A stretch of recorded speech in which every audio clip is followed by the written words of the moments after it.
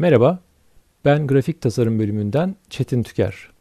Sizlerle uzaktan eğitim konusundaki tecrübelerimi paylaşacağım. Öncelikle belirtmek gerekiyor ki eğitim dünyası uzaktan eğitim kavramıyla ilk kez karşılaşmıyor. Hatta uzaktan eğitim girişimlerinin ilk örnekleri 1840'larda başlıyor. Bu alanda ciddi bir literatür olduğu gibi üniversite ölçeğinde de çok iyi örnekler var. Bunlardan biri de İngiltere'deki Open University. İngiltere'deki en iyi 10 üniversite arasında gösteriliyor. Benim uzaktan eğitimle tanışmam da 1998'e kadar gidiyor. ODTÜ'nün şu anda adını hatırlayamadığım bir uzaktan eğitim programına katılmış ve e, oldukça da e, işe yarar bilgiler edinmiştim. Daha henüz e, internetin yeni yaygınlaşmaya başladığı yıllarda. Bunlara ek olarak özellikle şu an ekranda görmek olduğunuz ve MOOC tabir edilen web sitelerinin sürekli kullanıcısıyım. Özellikle MIT ve ODTÜ'nün açık ders malzemeleri oluşumlarını da düzenli olarak takip ediyorum. Takipçi olmanın dışında dijital oyun destekli eğitim konusunda üretimlerim ve akademik yayınlarım da oldu. Ve son olarak da yine uzaktan tasarım eğitimi konusunda tamamlamış olduğum bir tane ve şu an devam etmekte olan da yine bir tane BAP projem var. Grafik tasarım bölümünde verdiğim derslerden 3 tanesi bugünkü sunumumun konusunu oluşturuyor. Bunlardan özellikle bir tanesinde içinde bulunduğumuz pandemi sürecinde e, nasıl şekillendirdiğimi e, daha detaylı olarak paylaşmaya çalışacağım. Bu dersler e, işlemsel tasarım dersi, etkileşimli çoklu ortam ve hareketli görüntü tasarımı dersleri. Bağlamı anlayabilmek açısından derslerin içeriklerine e, kısaca değinmek istiyorum. İşlemsel tasarım dersi ya da computational design aslında literatürdeki adıyla Türkçe'ye işlemsel ya da hesaplamalı tasarım olarak da e, çevriliyor. Bu tasarım problemlerini bilgisayar algoritmalarıyla çözüm aradığımız bir yöntem. Burada tasarımcı tek bir çözüm değil, çözümü oluşturan yöntemi tasarlıyor ve e, bunu bir bilgisayar algoritmasına ve koda dönüştürüp uyguluyor. Sonra bilgisayarın ürettiği olası çözümler ailesi içinden e, bir çözümü e, yine kendisi tasarımcı kendisi seçiyor ve aslında temel anlamıyla bu bir e, programlamaya giriş dersi. Diğer ders etkileşimli çoklu ortam dersi. Ortamdan canlı alınan veya önceden depolanmış verilerin kullanıcı eylemleri ve amaçları ki burada amacımız görsel iletişim tasarımı doğrultusunda kullanılması şeklinde tanımlayabiliriz. Burada tasarım alanımıza web sitesi, dijital oyun, video, animasyon, Hatta daha ileri uygulamalarda elektronik devreler, sensörler, örneğin Arduino markasıyla satılan mikro bilgisayarlar yine burada bizim çalışma alanlarımıza, çalışma ve uygulama alanlarımız içine giriyor. Sonuncu derste hareketli görüntü tasarımı dersi. Bu ise basitçe hareketlendirilmiş grafik tasarım olarak tarif edebiliriz. E, bu derste görsel iletişimin zaman, ses ve hareket boyutuna odaklanıyoruz. E, yaptığımız şeylerde yine kabaca video kurgu, görsel efekt ve hatta 3 e, boyutlu modelleme olarak tarif edilebilir. E, bu derslerden daha çok e, ben işlemsel tasarım dersini nasıl e, uyguladığımız üzerinde e, detaylı olarak e, duracağım. E, şimdi bu e, dersin uygulaması da e, evet e, tasarım sorunlarına e, algoritmalarla çözüm buluyoruz. Ancak kullandığımız iki tane araç var. E, bunlardan biri şekil tabanlı e, programlama e, üzerinden çalışan Scratch programı. Scratch'i öğrencilerin programlama kavramlarıyla ilk kez tanıştığı e, süreç içinde kullanıyoruz. Sonradan e, daha becerikli ve daha çok kullanacağımız bir e, araç olan e, Processing programlama aracına e, geçiyoruz. Öğrenci senenin başlarında ekranın solunda gördüğümüz gibi basit tekrarlayan üçgenleri çizen algoritmalar e, yazarken e, senenin sonunda ise ekranın e, sağında görülen karmaşık örüntüleri e, bilgisayar algoritmaları ile e, modelleyebiliyor. Etkileşimli çoklu ortam dersi e, biraz önce bahsettiğimiz işlemsel tasarıma giriş dersinin e, aslında üzerine yapılanan bir ders. E, bu derste e, bilgileri biraz daha ileriye götürüp e, sadece bilgisayar ortamından değil gerçek dünyadan da veri alıp ki e, o zaman işin içine bazı elektronik sistemler de e, girmeye başlıyor. E, bu aldığımız canlı verileri yine görsel iletişim amaçlı olarak e, nasıl kullanacaklarını e, projeler üzerinde birlikte çalışarak deneyimlemelerini sağlıyoruz. Hareketli görüntü tasarımı e, ise burada e, biz derslerde e, işin daha çok görsel efekt ve video kurgu tarafına yoğunlaşıyoruz ve aynı zamanda bilgisayar oyunu geliştirirken de kullanabilecekleri 3 boyutlu modelleme araçları üzerine yoğunlaşıyoruz. Hareketli görüntü tasarımı dersi ve etkileşimli çoklu ortam dersi hem teorik hem de uygulama bölümleri olan dersler. Buradaki teorik kısım daha az, uygulama kısmı aslında daha fazla. İşlemsel tasarım dersi daha çok teoriye dayalı bir ders. Şimdi Covid öncesinde de ben derslerimi daha nasıl zenginleştirebilirim? Hem öğrencilerin derse ulaşımını kolaylaştırmak hem de ilgilerini uyanık tutmak amacıyla. Çünkü bu derslerde anlattığım konuların büyük çoğuyla ilk kez karşılaşıyorlar. Özellikle işlemsel tasarım dersinin konularıyla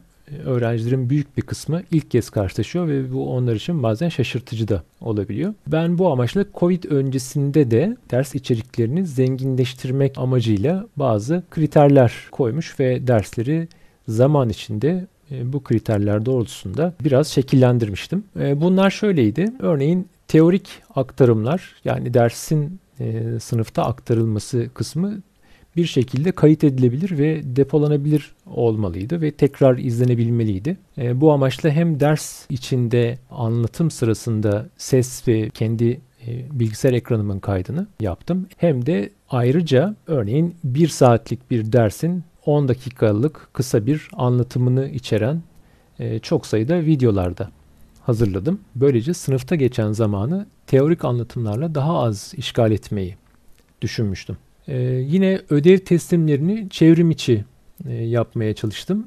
Bunun için birazdan bahsedeceğim. E, Trello e, isimli e, programı e, kullanıyordum.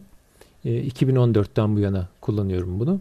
E, böylece öğrencilerin hem e, yardımcı ders malzemesine e, ulaşmasını kolaylaştırmak hem de özellikle ödev teslimlerini internet üzerinden yapabilmelerini sağlamak istedim. Çünkü zaten ders içeriklerimin bütünü elektronik ortamda bulunuyor. Ödev testlerini de yine elektronik ortamda yapıyorlar. E, bir taşınabilir flash memory ile e, teslim etmek yerine e, sıklıkla videoları ve diğer dosyaları internet üzerinden yüklemek onlara çok daha kolay geliyor. Benim için de kolay oluyor çünkü ders arşivini rahatlıkla tutabiliyorum. Öğrencilerin projelerine yaptığım tahsihlerin yazılı yapılan kısımlarını diğer öğrenciler tarafından da görülebilmesini ve hem birbirlerinin projelerini görüp hem de bu projelere yapılan e, eleştirileri de e, defalarca okuyarak yine bir ek öğrenme materyali oluşturmaya çalışmıştım. Bu e, sistemi kullandığımız zaman tabii bütün projelerin dönem içindeki gelişme adımlarını da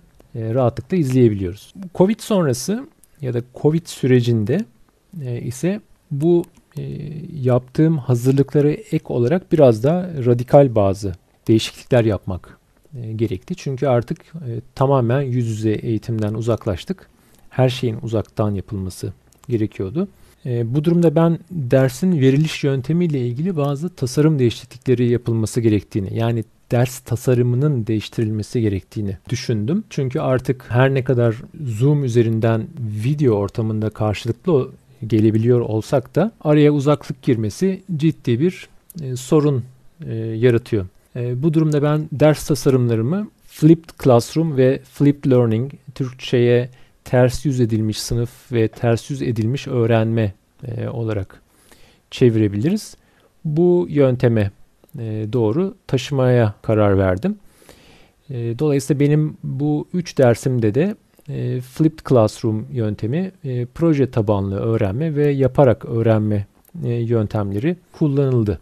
E, proje tabanlı öğrenme ve yaparak öğrenmeyi zaten e, pek çok tasarım eğitiminden biliyoruz. Neredeyse tasarım eğitiminin iki ana eğitim yöntemidir bu ikisi. Ben buna e, ek olarak her ne kadar derslerim ağırlıklı olarak bir proje dersi olmasa da içinde teorik olarak e, öğrenilebilecek çok sayıda unsur olan ve projeyi daha çok bu öğrenilen teorilerin uygulama alanı olarak konumlandıran dersler olsa da e, hem proje tabanlı ve yaparak öğrenmeyi e, uygularken bir taraftan da bunun yanında ters yüz edilmiş sınıf ya da flipped classroom yöntemini eklemeye karar verdim. Şimdi şöyle ters yüz edilmiş e, sınıfta işler nasıl yürüyor ona bakalım. Şimdi geleneksel yöntemde bu e, anlatacağım e, kısım özellikle teorik dersin teorik kısımlarıyla e, ilişkili olan yöntem. Geleneksel yöntemde dersi öğrenciye okulda aktarıyoruz ve çoğunlukla da öğrenci bu sırada pasif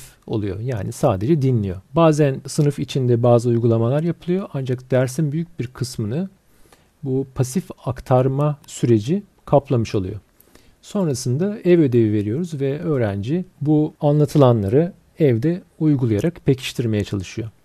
Ters yüz edilmiş sınıfta ise teorik kısım ders anlatımının aktarılması süreci eve bırakılıyor. Bu e, videolarla olabileceği gibi okumalarla ya da başka uygulamalarla hatta bunun içine bazen oyunlar da girebilir e, yapılıyor. Sınıfta ise hocanın gözetiminde ve hocanın da e, katılımıyla öğrenilenleri pekiştirici aktiviteler ve öğrencilerden gelen sorular yanıtlanıyor. Hatta bazen evdeki teorik anlatımlar daha basit ve temel konuları içerirken yüz yüze derslerdeki uygulamalar daha karmaşık öğrencinin e, tek başına evde altından kalkamayacağı daha karmaşık uygulamalar oluyor.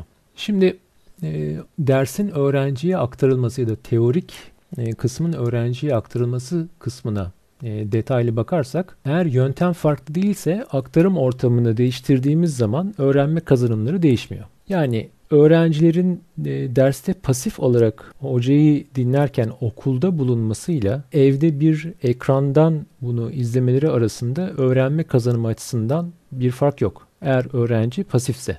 Dolayısıyla daha değerli olan sınıf saatlerini hoca ile birlikte yapılan ve e, daha geliştirici ve pekiştirici aktivitelere ayırmak daha verimli görünüyor. Bu ters yüz edilmiş sınıf e, süresince de Ayrıca ev ödevleri verilebilir. Bu durumda tabii şöyle bir kazancımız oluyor. E, klasik yöntemde sadece ev ödevi verebilirken ters yüz edilmiş sınıfta hem öğrenciyle daha çok zaman geçirme ve onun evde çalışmış olduğu e, teorik bilgiyi e, yeniden oluşturarak yeniden inşa etme e, sürecine katkıda bulunuyoruz. Hem de artı e, gerektiğinde yine ev ödevi verebiliyoruz. Yani burada bir e, aslında verimlilik açısından bir kazancımız oluyor. E, şöyle uygulamanın üzerinden adım adım e, eğer geçersek şöyle ilerliyor süreç. Öğrenci dersin hocası tarafından hazırlanmış olan videoyu izliyor ve veya dokümanları verilen dokümanları evde çalışıyor. Yine ve veya varsa filmleri izliyor veya oyunları oynuyor. Böylece teorik bilgiyi edinmiş oluyor. E, bu arada hazırlanan videoların uzunluklarının e, çok fazla uzun olmaması gerekiyor. 2 ila 10 dakika arasında ve her videoda e, tek bir konu e, olacak şekilde hazırlanması tercih edilebilir. Bu bir kural değil ama tercih edilebilir ya da en azından ben böyle hazırlamayı tercih ediyorum. Belli sayıda içerik, örneğin video üzerinden gidiyoruz. Bunlar yine video dersek. Belli sayıda video birleştirde belli bir öğrenme çıktısına ulaşılabilir. Yani 10 tane videoyu e, öğrenci izlediğinde belli bir planlanmış e, öğrenme çıktısına ulaşacak. Bütün bunların sonunda hedeflenen öğrenme çıktısının ele alındığı e, veya uygulandığı bir toparlayıcı video ya da etkinlik hazırlanıyor. Bu etkinlik basit bir etkinlik olarak evde de gerçekleştirilebilir ya da daha karmaşık e, tek ya da çok sayıda etkinlik olarak okulda da gerçekleştirilebilir.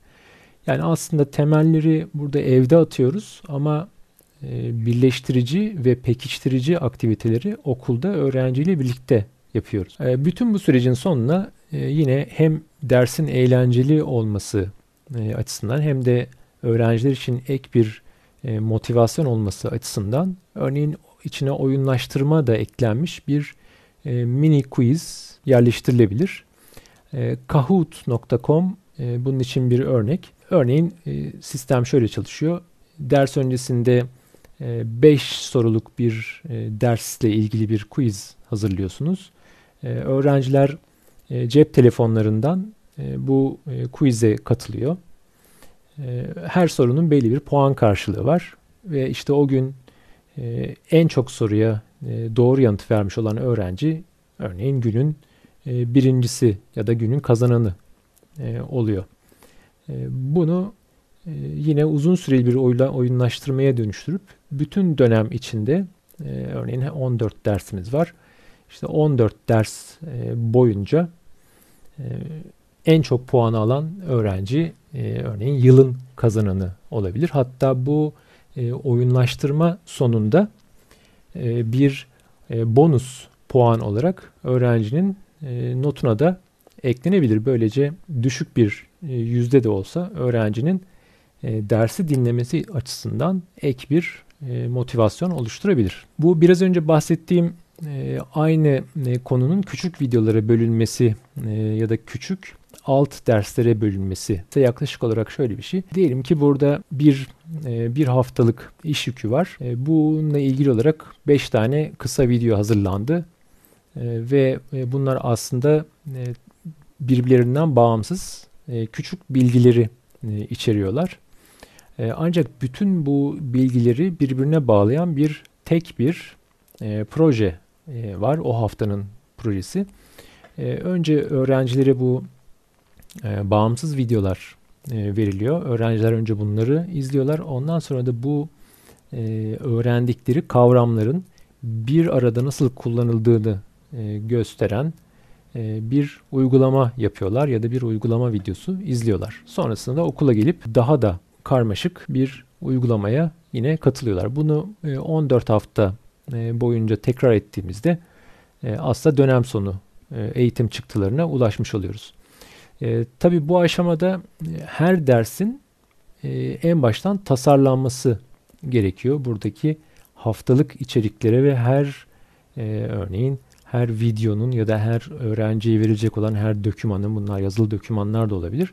E, tek tek tasarlanması ve bu içeriklerin oluşturulması gerekiyor. Biraz e, iş yükü olan bir süreç. Yalnız bunu e, tabii her zaman yapmıyoruz. Bir kere e, yapılıyor bu. Ondan sonrasında e, zaman içinde e, küçük ayarlamalar, geliştirmeler e, yeterli oluyor.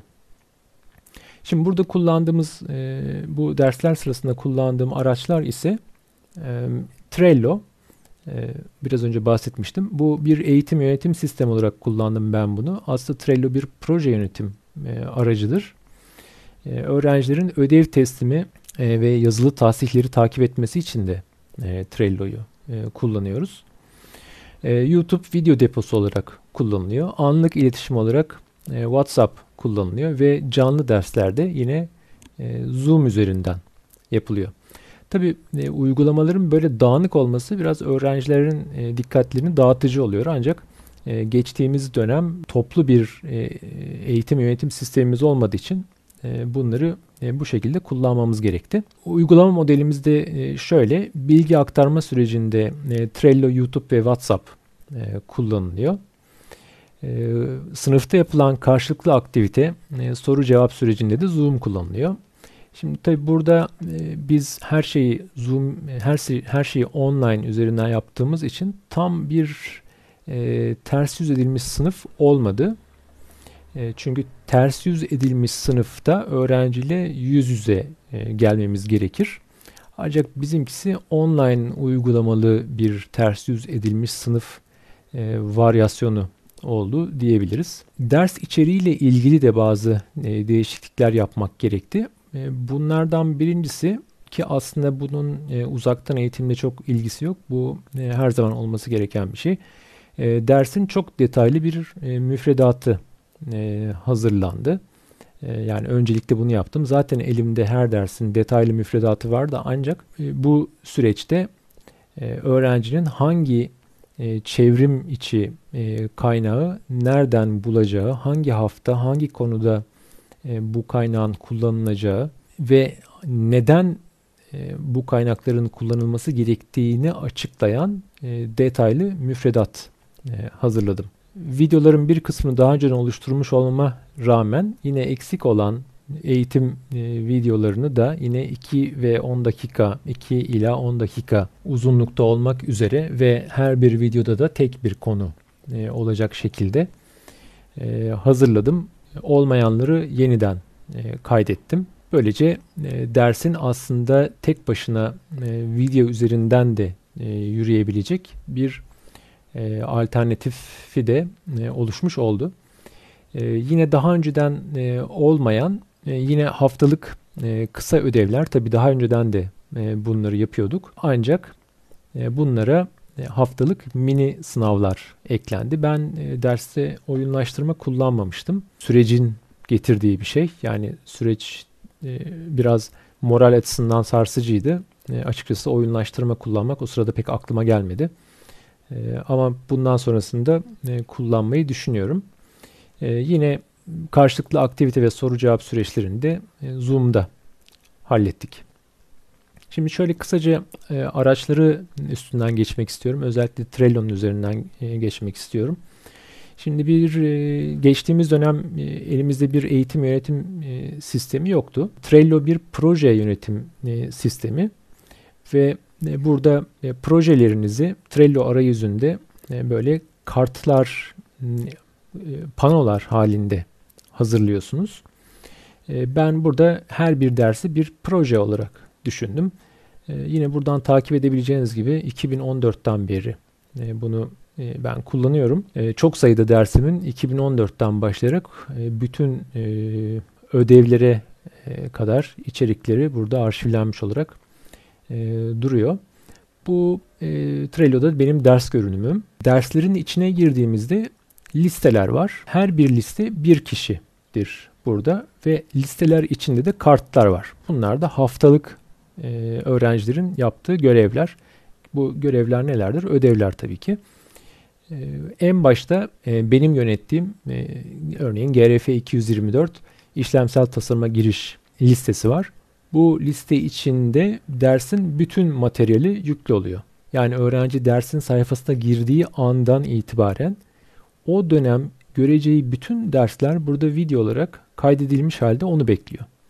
Hangi hafta hangi dersi göreceğini e, daha birinci haftadan e, görme şansına sahip. Hatta eğer istiyorsa 14 haftalık videoları bir hafta sonuna ayırıp e, bütününü izleyebilir. Bu benim için bir sorun teşkil etmediği gibi hatta bana kalırsa keşke bütün öğrenciler böyle bir şey yapsalar. Oldukça eğitim çıktısı açısından da avantajlı olacağını düşünüyorum. Bu e, sınıf görünümünde biraz daha de, e, derinleşmek istiyorum. E, bakın şurada e, gördüğünüz sol en soldaki liste benim yine ders e, listem. Kartlar çok miktarda kart eklenmiş durumda. Bu arada bütün kartların kendine özgü numaraları vardır. Öğrencilerle diyaloğa geçtiğimiz zaman kartın numarasını söylemek e, yetiyor. Örneğin 15 numaralı kart içindeki 3. videoyu izleyeceksiniz e, gibi ya da sorularınızı 99 numaralı kartta sorun e, gibi.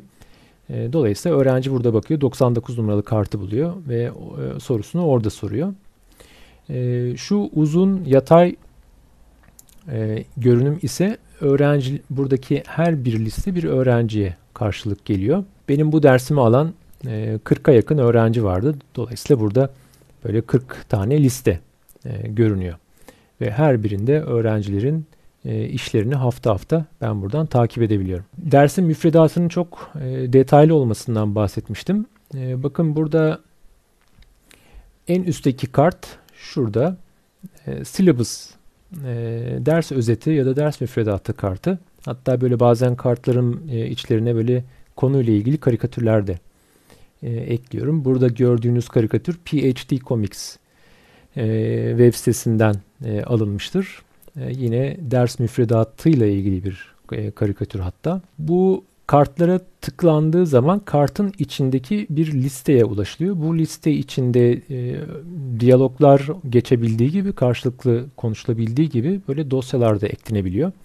Örneğin ben burada e, dersin içeriğini ve hangi hafta nelerin işleneceğini oldukça detaylı bir şekilde e, anlattığım e, müfredatı buraya bir PDF dosyası olarak eklemiştim. Yine ders videolarının bulunduğu e, listede yine depo olarak kullandığımız YouTube'dan e, bu videoları çeken e, uzun bir liste var. E, tahsihler ve iletişim nasıl yapılıyor? Bu e, görselleri ben bilerek e, blurladım. E, burada bir e, öğrenciyle aramızda geçen bir tahsih e, diyaloğu var. Öğrencinin projesinin altına ben eleştirilerimi yazıyorum. O buna karşılık olarak yanıtını yazıyor. Ben onun altına yine eleştirilerimi yazıyorum ve böyle bu her proje için, her hafta için bu diyalog uzayabiliyor. E, bu diyaloglar gizli değil. Bunlar diğer öğrenciler tarafından da e, takip edilebiliyor ki bu benim olmasını istediğim bir şey. Ben bir öğrencinin projesini e, burada tahsih ettiğim zaman bu bir e, bilgidir ve diğer öğrencilerin de işine yarayacaktır. Dolayısıyla diğer öğrenciler e, bu projenin bağlamında e, nasıl eleştirdiğimi, neyi eleştirdiğimi ve niye eleştirdiğimi e, öğrenmeleri gerekir. E, gelip buradan okuyup e, bu ek bilgiyi de e, edinebilirler, edinmeleri gerekiyor.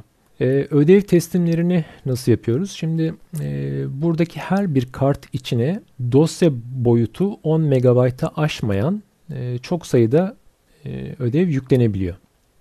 Yani yazılı e, ödevleri buralara yüklemek e, çok kolay. Videolarda 10 MB aşılıyor. Ancak bu sefer YouTube hesaplarına video işlerini yükleyip burada kartların içinde bağlantıları paylaşmaları yeterli. Ben buradan izleyip yine altına tahsih yapabiliyorum. Bunun tabi bir başka avantajı da şu. E, öğrencinin ödevi hangi gün hangi saatte teslim ettiğinde e, buradan takip edebiliyorum. E, öğrenci e, bir teslim yaptıktan sonra e, kartını silse bile sistem hareketleri kayıt altına almış olduğu için ben silinmiş kartların bile hangi saatte eklendiğini ya da hangi saatte silindiğini buradan izleyebiliyorum. Tabi uzaktan eğitimde sınav konusu birazcık problemli. Biz burada nasıl bir yöntem uyguladık? E, işlemsel tasarım dersinde ben e, notlamayı şöyle yaptım. E, senkron sınav, haftalık ödevler, final projesi ve e, deneysel araştırmalara katılmaktan e, bonuslar şeklinde. E, diğer ikisinde dönem içi projeler ve devamlılık ve final projesi e, olarak değerlendirildi. E, bu dersler zaten yüz yüze yapılırken de bu şekilde değerlendiriliyordu. Çok fazla bir şey değişmedi. Açıkçası işlemsel tasarım dersi de böyle değerlendiriliyordu. Onun için de bir şey değişmedi. Sadece senkron sınavın yapılma yöntemini birazcık daha e, detaylandırmam e, gerekti. Sınavlarda benim felsefem şu. E, bir kere dersin çıktıları çok nettir. Dönem başında öğrenciye verilen müfredatta bu derste ne öğrenecekleri çok net olarak e, belirtilmiştir. Sorular doğrudan ders çıktılarına yöneliktir. Rubrik açıkça bellidir. Hangi e, yanıtın kaç puan alacağı her sınav öncesinde detaylı olarak bunu yazıyorum. E, öncelikle kendim için. E, ve öğrencilere de ders sırasında dersleri anlatırken neyi öğretmeye çalıştığımı, e, neden onu öğretmeye çalıştığımı ve ilgili bir soruda ne derlerse yanlış olacağını e, nedenlerini de açıklayarak e, bunları söylüyorum. Bu öğrencilere açıklıyorum. Tabi burada öğrenci amaç öğrencilerin yüksek not almasına çalışmak değil. Burada amaç öğrencinin derste ne anlatılmaya çalışıldığını iyi anlamasını sağlamak. Sınav sonunda ise her zaman geri bildirim e, yapıyorum. Her sınavın sonrasında. E, bazen her öğrenciye tek tek e, ama çoğunlukla e, sınıfa toplu olarak e, nerede hata yaptıklarını e, hatta neden hata yaptıklarını ve düzeltilmesi için de ayrıca ne yapmaları gerektiğini de e, mümkün olduğunca detaylı bir şekilde açıklıyorum. Şimdi tabi sınav yönetimi e, konusu burada önemli.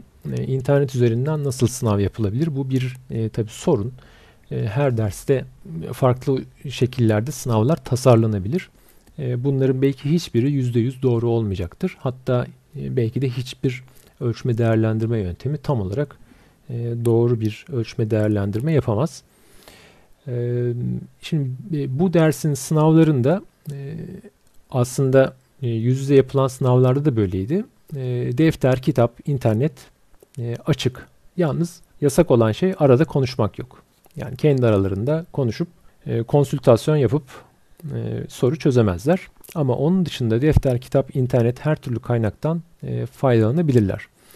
E, şimdi bu e, derste amaç bir şeyleri ezberletmek olmadığı için ben de öğrencilerin hafıza kapasitelerini e, ölçme derdinde olmadığım için e, ezber sorusu sormuyorum. Dolayısıyla e, benim sorduğum e, sorunun ha, internette yanıtı var mıdır? E, yok diyemem. E, bulabilirler. Doğrudan o e, soruyu bulamazlar ama benzer e, problemler üzerinden, e, benzer problemlerin çözümleri üzerinden e, yanıtı bulabilirler.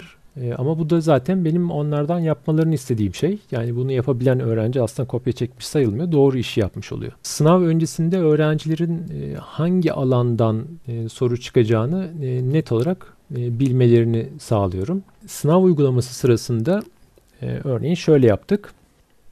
3 e, grup e, vardı. E, eşdeğer ağırlıkta ve tam olarak aynı bilgiyi ölçen e, dörder soru e, soruldu. Yani toplamda 12 soru hazırladım. E, 60 dakikaydı e, sınavın e, süresi. Öğrenciler kimin hangi grupta olduğunu bilmiyordu. E, bu soruları tecrübeli birisi yaptığı zaman kişi, ki o kişi ben oluyorum. E, yaklaşık 40-50 dakika sürüyor. Yani aslında bu 4 sorunun 4'ünün de tam olarak yapılma olasılığı oldukça azdı. Yani birazcık böyle zamanı e, sıkışık e, verdim. Soruları aynı anda tüm sınıfa e-posta ile e, gönderdim. 60 dakika sonra da yanıtları e-posta ile geri aldım. E, şimdi tabii bu dersin içinde öğrenciler kod yazıyorlar. Öğrenciler yazdıkları kodlar içinde neyi neden yaptıklarını da e, açıkladılar. Bu da e, puanlamaya dahildi. E, böyle olmasının sebebi de hem e, kopya çekmeyi e, zorlaştırmak e, hem de şans eseri gelebilecek doğru yanıtları mümkün olduğunca e, engellemek.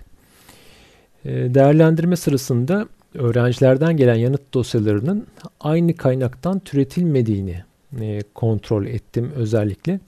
E, bunu birkaç şekilde yapabilirsiniz.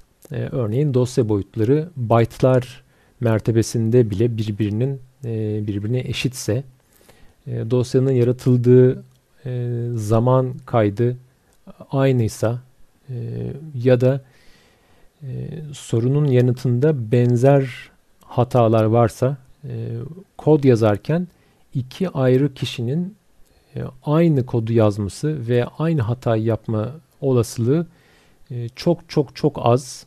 Yani eğer birisi böyle bir şey yaptıysa e, bunu yakalamak çok kolay. Ancak tabi bu yönetimin sonunda bile e, hala e, gözden kaçan ve başarıya ulaşan e, kopya girişimleri olabilir. Onun da belli bir yüzde dahilinde e, kabul edilebilir olduğunu e, düşünüyorum.